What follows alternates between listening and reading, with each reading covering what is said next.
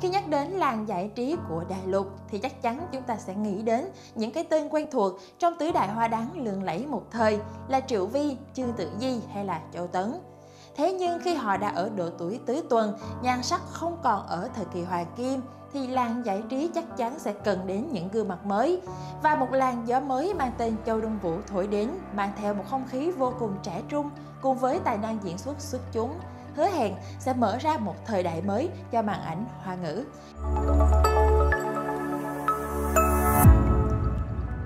Nàng thơ Châu Đông Vũ Châu Đông Vũ sinh năm 1992 tại Hà Bắc, Trung Quốc.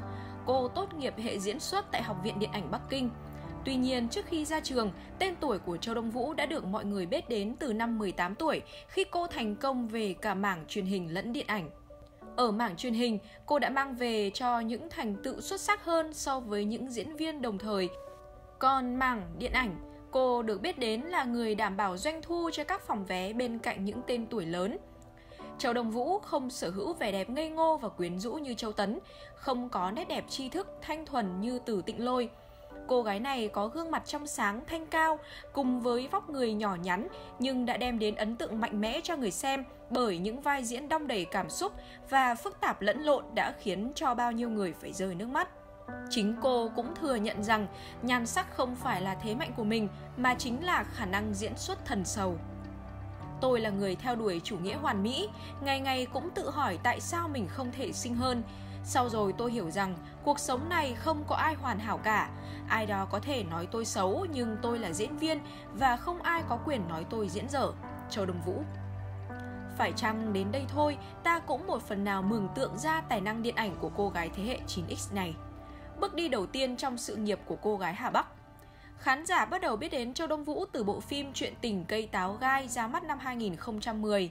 Bộ phim này đã đánh dấu bước chân vào nghề của cô sau khi trải qua quá trình casting khắt khe với hơn 6.000 thí sinh. Châu Đông Vũ đã vào vai Tinh Thu với một vẻ đẹp hiền hậu, trong sáng của một cô gái thành phố về vùng nông thôn.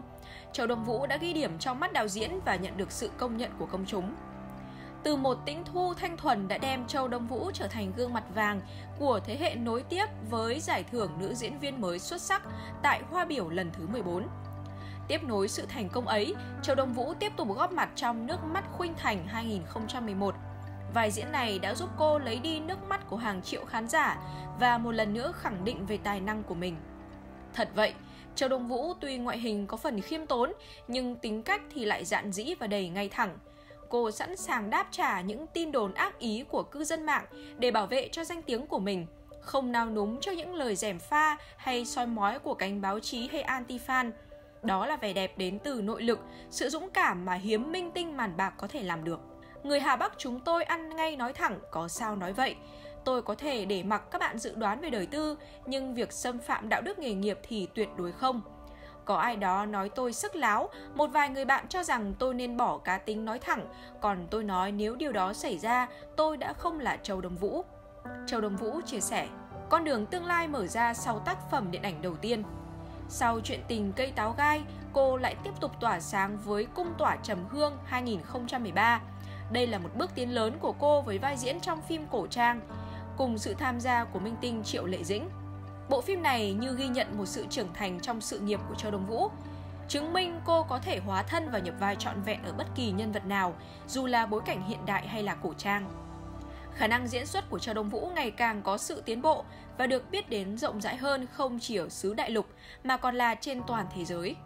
Tuy vậy, đỉnh cao trong sự nghiệp diễn xuất của Châu Đông Vũ nằm ở bộ Thất Nguyệt và An Sinh 2016 với sự có mặt của Mã Tư Thuần không còn trói buộc mình trong vai một cô gái hiền lành trong sáng như trước. Nữ diễn viên đột phá khi đóng vai người con gái mang tiếng phóng đãng, luôn muốn sự tự do và ghét bị kìm kẹp.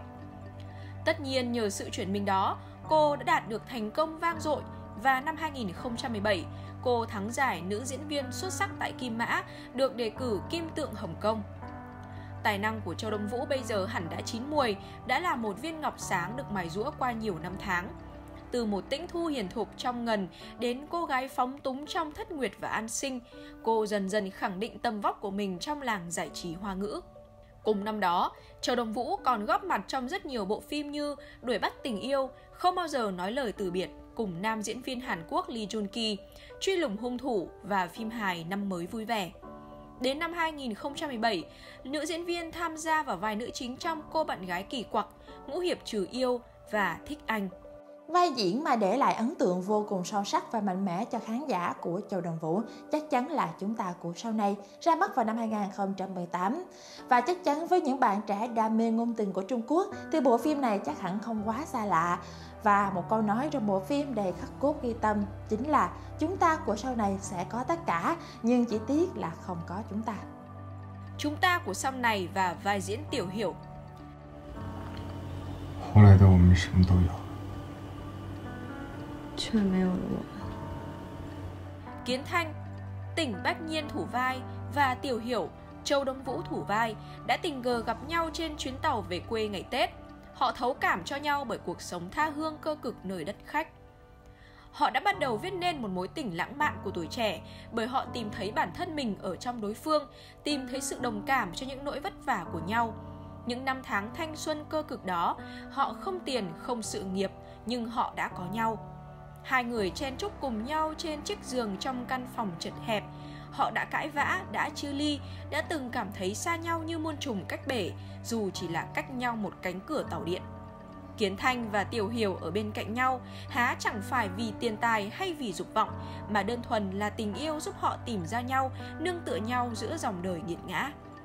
Và rồi họ xa cách để theo đuổi sự nghiệp, nhưng sợi dây định mệnh chưa dừng lại ở đó. Họ gặp lại người mình yêu năm xưa trên chuyến bay về Bắc Kinh. Thứ tình yêu dai dẳng ấy cuối cùng đã đến ngày kết thúc. Bây giờ, Kiến Thanh có sự nghiệp, có thể đem lại những gì tốt nhất cho Tiểu Hiểu, nhưng cô gái năm ấy đã không còn bên cạnh anh nữa. Có một câu nói rằng, đến cuối cùng chúng ta vẫn không thể có được người mà mình yêu. Châu Đông Vũ với sự nhập vai xuất thần đã đem đến cho công chúng quá nhiều cảm xúc đan xen trong thước phim mang màu sắc của quá khứ này. Hẳn ai cũng rơi nước mắt vì câu chuyện tình quá đỗi đẹp đẽ và u buồn ấy. Châu Đông Vũ và hình tượng Trần Niệm vào cuối năm, Châu Đông Vũ đã trở lại màn ảnh cùng với vai diễn Trần Niệm trong Em của thời niên thiếu, cùng với nam ca sĩ Dịch Dương Thiên Tỷ của nhóm nhạc đình đám TF Boys, phim do Tăng Quốc Cường làm đạo diễn. Gương mặt thuần khiết và vẻ đẹp nhẹ nhàng đã giúp nữ diễn viên thành công với một vài nữ sinh trung học. Em của thời niên thiếu không chỉ là bản tình ca về tình yêu ngây dại của tuổi trẻ, mà còn là sự hy sinh thầm lặng mà kiên định của Tiểu Bắc, Dịch Dương Thiên Tỷ thủ vai dành cho Trần Niệm phim còn khai thác về những góc khuất của xã hội, về bạo lực học đường, nợ nần và sự thờ ơ của đám đông trước những thế lực bạo tàn. Bộ phim đã lấy đi nước mắt của hàng triệu người xem. Châu Đồng Vũ đã ăn điểm trọn vẹn với một đôi mắt biết nói, cùng khả năng nhập vai vô cùng tuyệt vời của mình, đã đem đến nhiều cung bậc cảm xúc cho người hâm mộ. Em của thời niên thiếu lại một lần nữa khẳng định về tài năng diễn xuất của đại hoa đán thế hệ mới. Nói về những giải thưởng mà em của thời niên thiếu thì tiêu biểu là việc thắng đậm ở liên hoan phim Kim Tượng, giúp Châu Đông Vũ lên ngôi ảnh hậu và là một trong năm bộ phim được đề cử tranh giải phim hay nhất tại Hoa Đỉnh 2020. Mới đây, trong liên hoan phim Udin ở Ý thì em của thời niên thiếu đã vượt qua tận 46 ứng cử viên nặng ký để mang về hai giải thưởng danh giá cho mình, bao gồm giải dâu tằm vàng, phim được khán giả yêu thích nhất và dâu tằm đen cho phim được bình chọn nhiều nhất bởi khách tham dự liên hoan phim. Hình tượng đại hoa đán mới của Trung Quốc Sở hữu những thành tựu nổi bật như thế, Châu Đông Vũ hoàn toàn có thể thay thế được vị trí của Triệu Vi hay Trương Tử Di. Cô hoàn toàn xứng đáng với những giải thưởng danh giá như nữ diễn viên mới xuất sắc, hay gần đây nhất là nữ diễn viên được yêu thích nhất của Liên hoan phim truyền thông điện ảnh Hoa ngữ lần thứ 18. Châu Đông Vũ đang bước đi trên con đường trở thành đại hoa đán của Trung Quốc. Tất cả mọi người đều công nhận, có lẽ vì cô gái trẻ 9X không những có tài năng mà còn nổi bật ở nét cá tính khác biệt và sự tự tin vượt bậc so với thế hệ tiền nhiệm. Mới đây, poster bộ phim mới của Châu Đông Vũ là Thiên Cổ Quyết Trần vừa được tung ra trên thị trường. Bỏ qua những tranh cãi xoay quanh cô nàng thì phim truyền hình được đánh giá không phải là thế mạnh của Châu Đông Vũ. Nhiều khán giả cũng lên tiếng rằng sẽ chờ diễn xuất vì tạo hình trong phim cũng không hề phù hợp. Và có tên Châu Đông Vũ chính là người mà làng giải trí xứ hoa ngữ tin tưởng để chọn mặt gửi vàng trở thành ảnh hậu của thế hệ kế tiếp. Và hy vọng rằng sự trở lại sắp tới của Châu Đông Vũ, nàng Lolita của màn ảnh hoa ngữ sẽ không khiến khán giả thất vọng. Và bạn nghĩ như thế nào về hình tượng thế hệ mới của đại hoa đáng Châu Đông Vũ? Hãy để lại bình luận phía bên dưới cho chúng tôi được biết nhé. Và đừng quên nhấn nút like, share và đăng ký để nhận thêm nhiều video mới nhé.